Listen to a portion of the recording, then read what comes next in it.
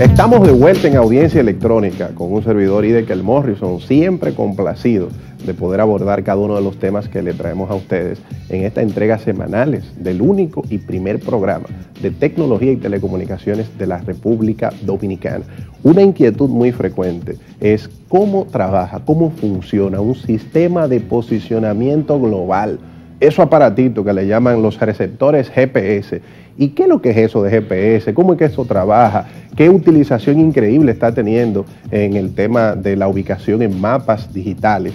Todas esas inquietudes usted va a tener respuestas a ellas en este video. Vamos a presentarles un video explicativo de cómo funciona, de qué es todo esto de GPS. Preste mucha atención. Es un GPS. Este aparato, como todos sabemos, sirve para llevarnos de un lado al otro del mundo.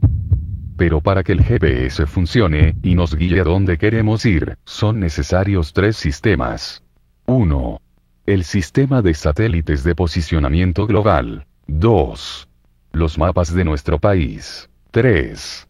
El sistema de navegación. Vamos por partes.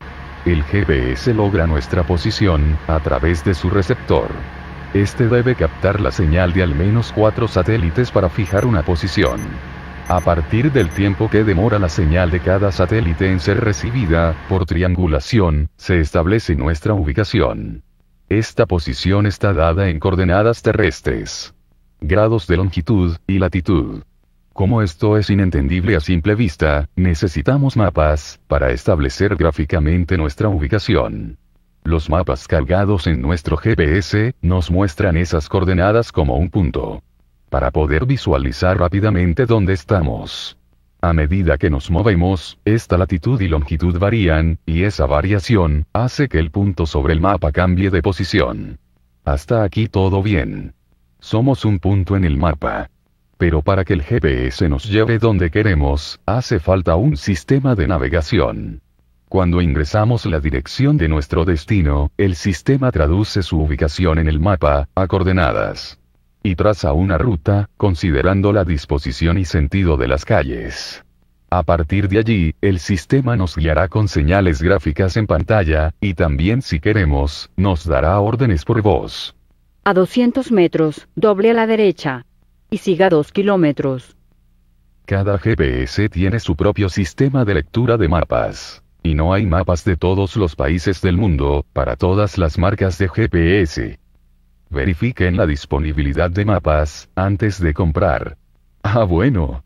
Y no hay que pagar ningún abono, por el uso de los satélites. Desarrollado por Explainers. Explicamos todo.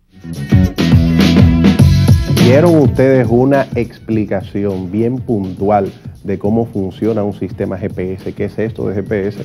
Ya en el país hay diversos proveedores de sistemas GPS, hay mapas digitalizados para estos equipos receptores de señal GPS que usted puede instalar en su vehículo y que tiene muchísima utilidad, sobre todo para el sector turístico. Así que vámonos con esto a una breve pausa comercial. No se muevan, que le vamos a explicar, señores, cuáles son las redes sociales que existen ahora mismo en el mundo destinadas, señores, a la infidelidad.